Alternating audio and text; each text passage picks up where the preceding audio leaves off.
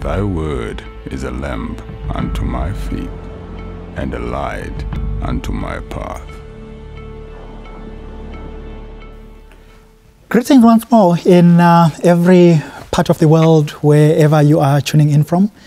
It's um, yet another pleasure to chat to you about the great love of God.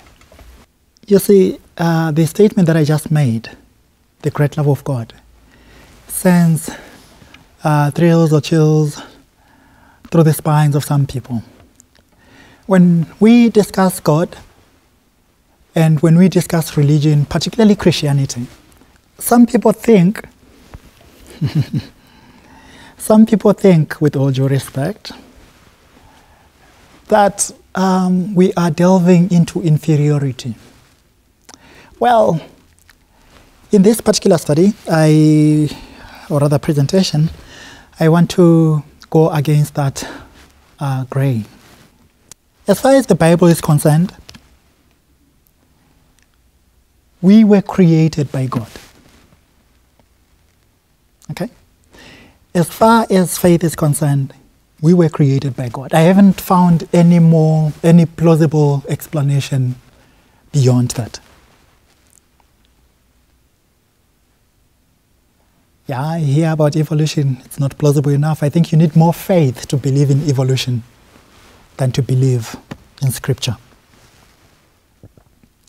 So, I just want to show that this, the Bible is meant, or rather designed, to make us better human beings. Not just better morally, but better in every way.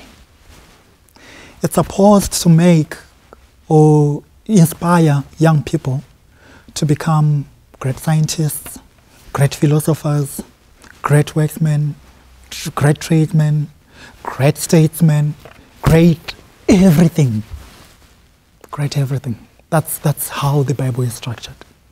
The study of Scripture is, is designed, I'm not talking about reading it, I'm talking about studying. It's designed to sharpen the intellect far more than anything else we can study. There is so much grace in Scripture. As you sharpen the intellect, your character, through the Bible that is, your character also develops for the better. Don't, don't look at the people around. The examples of, um, uh, of Christians that you see around, those are not good enough. You should look on the ultimate example, whom you can read about in the Gospel, in the four Gospels. Even the founder of Christianity, Christ Himself, the beginning of the creation of God. So, speaking um, to his disciples and um, uh, some uh, people on a mount 2000 years ago, we read from the history book written by Matthew. So, the history book, which is part of the compilation, so the Bible is just a compilation of 66 books and letters. So, let's zoom into this particular one, the history book written by Matthew. So, it's Matthew um, chapter 5 towards the end, and it's, um, let's pick it up from verse 43. So, Matthew says, quotes Jesus saying, maybe I should say. So Matthew is quoting Jesus here, and um, Jesus was, was saying the following Ye have heard that it has been said, that it had been said, Thou shalt love thy neighbor and hate thy enemy. Okay, let's, let's pause there. So if you read the Old Testament, you get this particular character of God. This God whom we don't understand. Uh, he is called Jehovah. He is, he is cruel. He gives instant punishment. Uh, he wants his law to be to be abided by so strictly. He, he's a very strict God.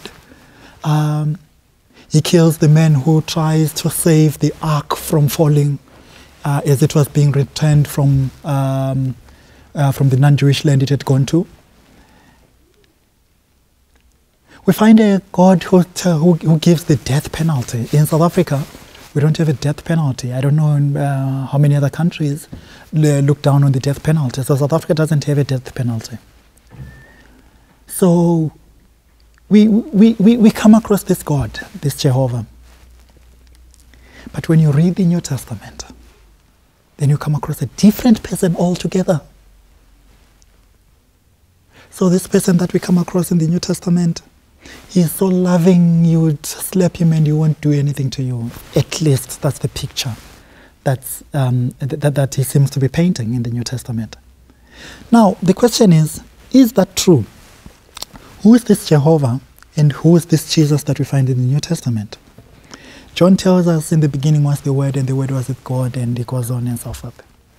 It is the same God. When we read from Matthew chapter 22, we actually learn that uh, David called him God. He was the I am. So, this God that they were calling I am in the Old Testament is the same God is speaking in the New Testament. Now, so you would find that the, in the way scripture is written, there is also the hand of man trying to portray in human language and intellect the inspiration and thoughts of God.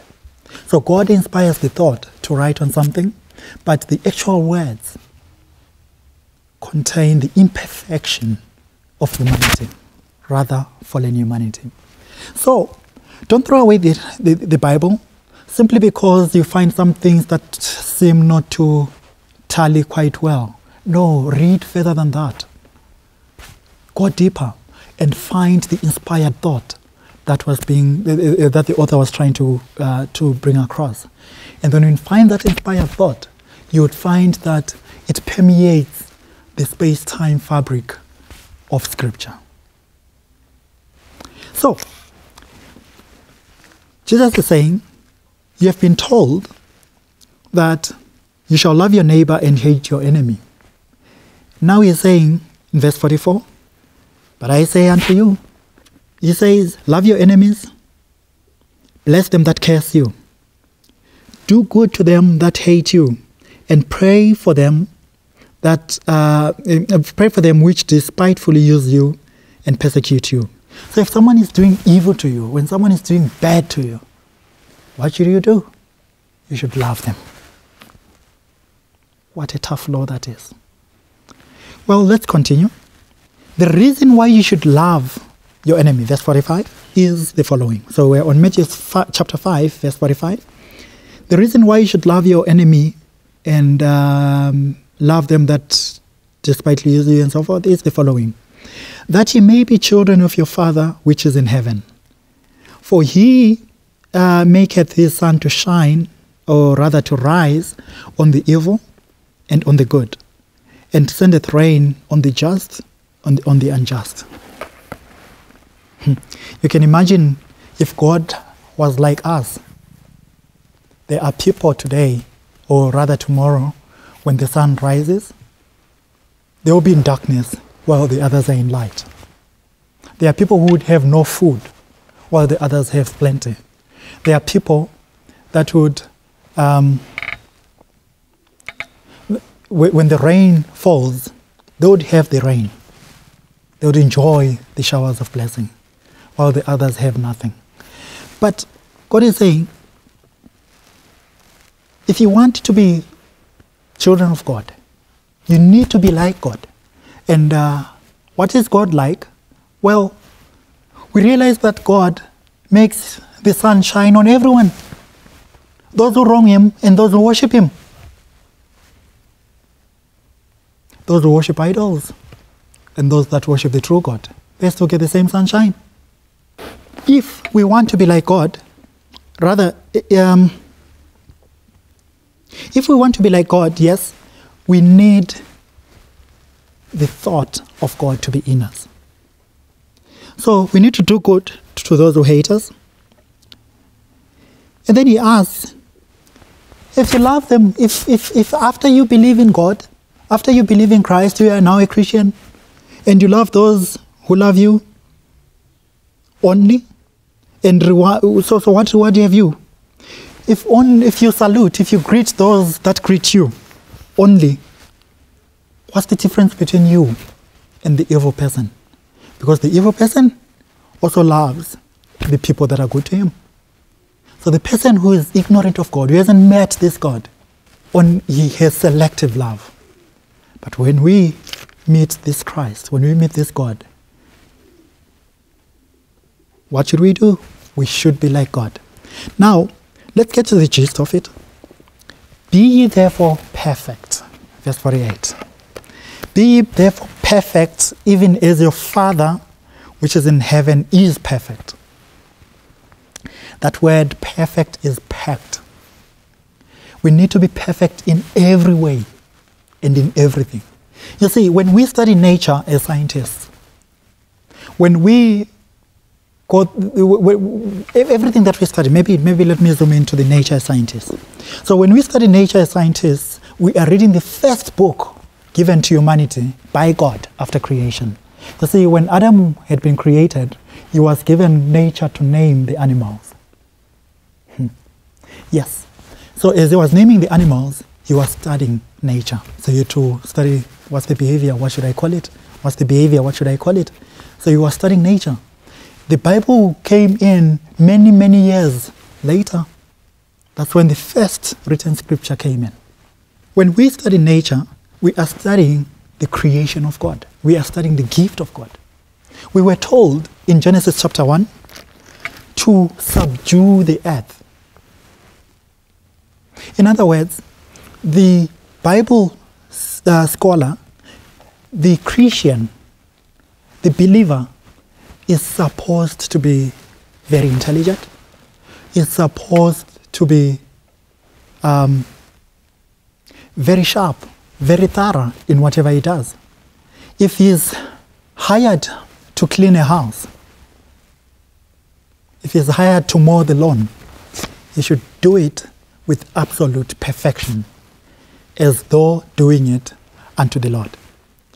So, Christians usually have this uh, misunderstanding, rather, that when you are a Christian, so if you're a student, you can get into the exam room without studying. And somehow the Holy Spirit will remind, will, will tell you what the answers are. Many Christians have set a bad example because of that. The Lord requires us to be perfect as He is perfect. So when we study, we must study knowing that the angels are recording accurately what we are doing. So when the Holy Spirit works with us, He will work with us to remind us of what we have done. If we become a statesman, be honest. If you become an accountant, a treasurer, whatever you do, whatever we do, no matter how small it may be, we need to be perfect. Jesus was so perfect that rising from the grave, from the grave into which he would never return, he had to fold the cloth that draped him nicely. The one that draped the, the head nicely where the head was, and the one that draped the body nicely, nicely folded where, where, where it was. To show us what kind of people we need to be. We need to take care of everything, including small things. We need to be perfect as God is perfect. We need to live sinless lives as God is sinless. May the Lord add a blessing to the reading of His word. Amen.